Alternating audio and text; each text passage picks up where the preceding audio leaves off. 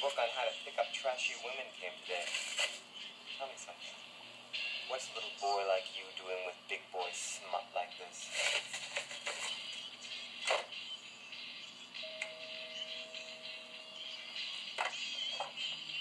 Hi, Lane. I was just wondering. I mean, I know that we don't even know each other, but I know that you were going out with that girl, Beth, and I can see that you're not going out with her anymore, and I was wondering if perhaps I could